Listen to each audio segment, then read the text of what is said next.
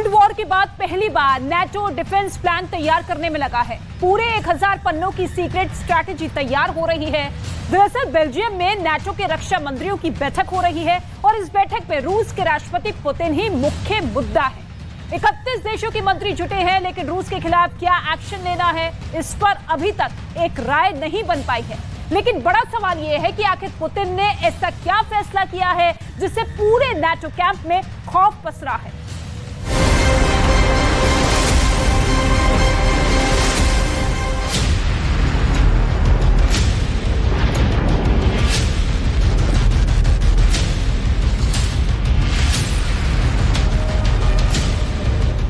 इकतीस देशों से कैसे लड़ेंगे पुतिन?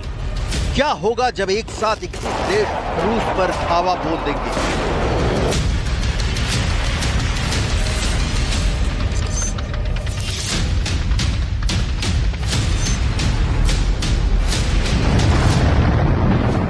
क्या पुतिन के परमाणु बम फोड़ने का टाइम आ गया है?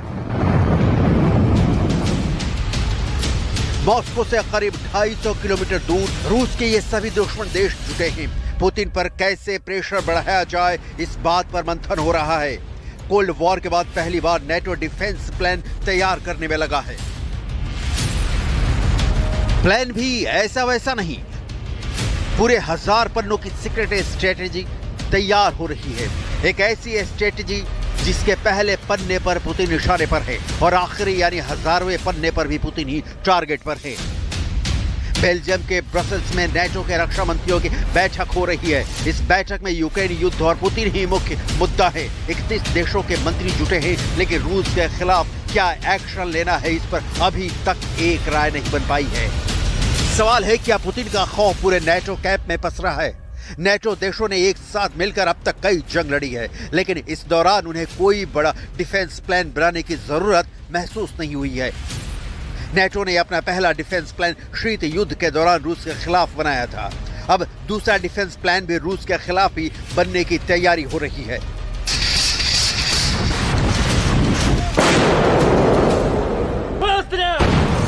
नेटो के मुताबिक यूक्रेन युद्ध, दूसरे विश्व युद्ध के बाद लड़ी जा रही पहली सबसे बड़ी जंग है।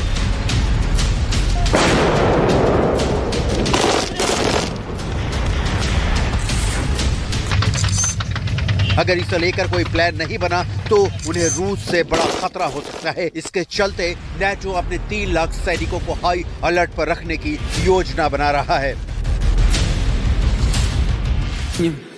Ну, о чем мы говорим? Э, Поставки идут э, военной техники, тяжелой техники. Сейчас рассматривается вариант поставки э, самолетов. Собственно говоря, вот мы сегодня я уже говорил о том, что э, там на одном участке предпринимаются попытки नेटो यूक्रेन को हर संभव मदद दे रहा है यूक्रेन के जरिए रूस को चित करने में लगा है नेटो देशों से हथियार कैसे रूस के लिए काल बन रहे हैं उसकी एक बानगी देख लीजिए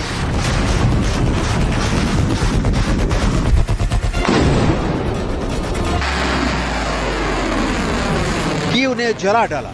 रूस की सेना को रुला डाला की चिंगारी से रूस का गोला बारूद डिपो धधक उठा। यूक्रेन की सेना ने रूस के उस गोला बारूद डिपो को जला डाला, जहाँ रखे गोलों को रूस की सेना यूक्रेन पर बरसाने वाली थी। काउंटर अटैक करने वाली जलेस्की की सेना को दौड़ा दौड़ा मारने वाली थी।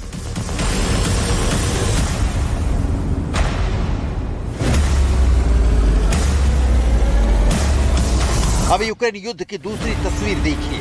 यूक्रेन के सबसे बड़े बाँध के टूटने के बाद आया सैलाब अब कम हो रहा है।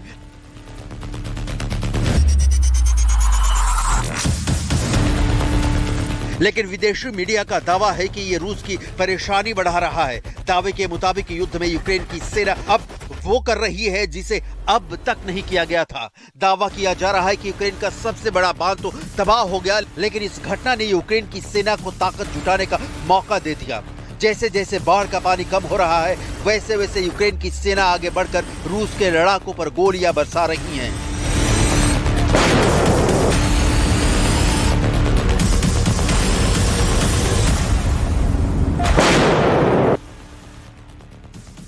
दक्षिणी यूक्रेन में निप्रो नदी की एक तरफ़ रूस की सेना का कब्जा है।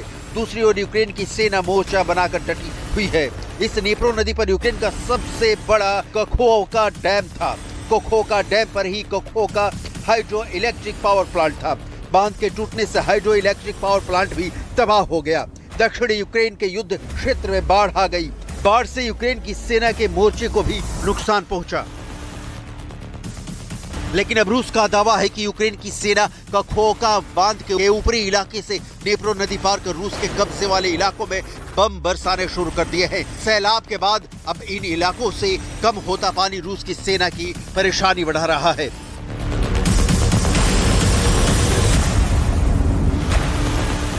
क्यू से लेकर खेरसोन और ओदेसा तक नीप्रो नदी पर कुल छह बाँध बनाए गए हैं, जिसमें कोखो का सबसे आखिरी यानी छठा बाँध था। ये इतना विशाल बाँध है कि यूक्रेन के उत्तरी से दक्षिणी इलाके तक फैला है, जिसका सामरिक महत्व तो बहुत ज़्यादा है। इसी वजह से आशंका जताई जा रही है कि बाँध के तबाह हो जाने के बाद यूक्रेन की सेना को अब इस इलाके में बढ़त हासिल करने में कामयाबी मिल रही है। पुतिन इस वक्त बहुत ज़्यादा बेचैन है। मॉस्को पर ड्रोन अटैक के बाद तो पुतिन किसी चीज़ को भी बर्दाश्त करने के मूड में नहीं है।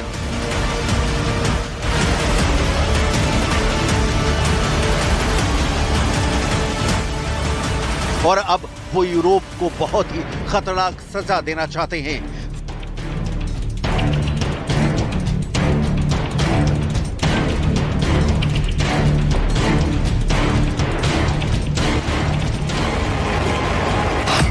फिनलैंड की रूस से लगने वाली 1340 किलोमीटर लंबी सीमा पर तनाव बहुत हाई है। दोनों तरफ़ से बॉर्डर की तरफ़ हथियारों का मूवमेंट बढ़ गया है। फिनलैंड से लगने वाली अपनी पश्चिमी सीमा पर रूस ने 12 मिलिट्री यूनिट की तैनाती बढ़ा दी है। वहीं फिनलैंड के उत्तर में समंदर में रूस की पनडुब्बियों और युद्धपोतों की हलचल बढ़ गई है। रूस के पड़ोसी देश फिनलैंड के नेटो का हिस्सा बनने के बाद पुतिन का पारा चढ़ गया है।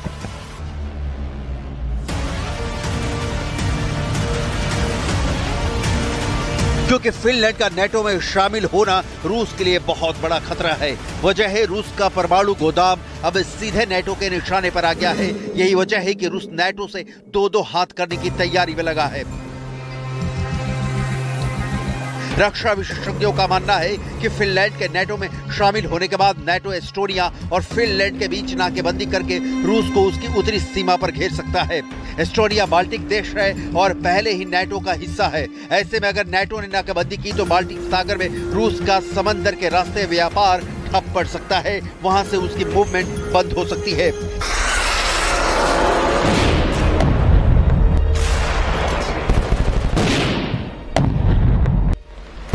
इसलिए रूस भी नेटो से निपटने के लिए अपना एकदम डिटेल रोड मैप तैयार करने में जुटा हुआ है। नेटो को रूस अपना दुश्मन मानता है।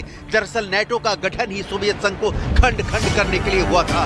नॉर्थ अटलांटिक ट्रीटी ऑर्गेनाइजेशन, यानी नेटो दूसरे विश्व युद्ध के बाद उन्नीस सौ उनचास में बना था। लेकिन रूस को सबसे बड़ी परेशानी उन देशों से है जो पहले सोवियत संघ का हिस्सा थे और अब नेटो से मिल गए हैं। बेलारूस में रूस ने परमाणु हथियार लगाने शुरू कर दिए हैं। बेलारूस का पड़ोसी स्टोनिया में नेटो ने 1150 सैनिकों को तैनात कर रखा है। लातविया में नेटो के 1650 सैनिक तैनात हैं। पोलैंड में 1060 नेटो के सैनिकों के साथ 5,400 अमेरिका के सैनिक डटे हुए हैं। रोमानिया में नेटो के 4,500 और 1,000 अमेरिका के सैनिक मौजूद हैं। वहीं रोमानिया के दक्षिण में मौजूद बुल्गारिया में 200 नेटो फोर्स के साथ 200 अमेरिकी सैनिक भी तैनात हैं दुनिया इस बात से भी डरती है कि अगर पुतिन से नेटो को खंड खंड करने के लिए परमाणु बम विस्फोट का फैसला ले लिया गया तो क्या होगा? क्योंकि परमाणु बम के फटने का एक ही मतलब होता है सर्वनाश। और इस सच से पूरी दुनिया वाकिफ है कि रूस ने नेटो देशों से लगी कलिनग्राद में भारी परमाणु जखीरा जमा कर रखा है।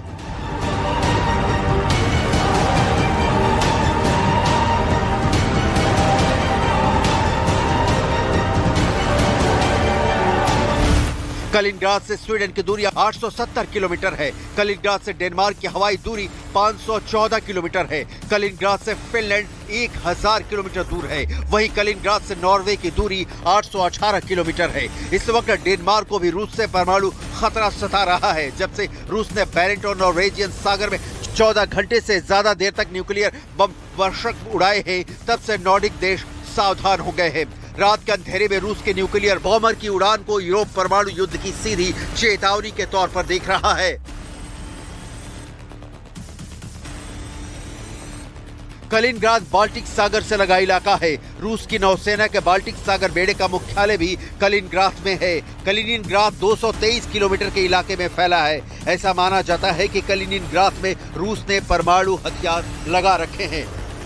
यूक्रेन पर हमला करने के बाद रूस ने कलिनिनग्राद में ही परमाणु हमले का अभ्यास किया था। रूस की कई परमाणु हमला करने में सक्षम पनडुबियाँ इस बेस पर तैनात रहती हैं। ऐसे में अगर नॉर्डिक देशों से रूस का युद्ध हुआ तो उन्हें आशंका है कि रूस इस बेस से परमाणु हमला तक कर सकता है। यूक्रेन कई वर्षों से नेटो से जुड़ने की कोशिश करता रहा है। उसकी हालिया कोशिश की वजह है, रूस ने यूक्रेन पर हमला किया।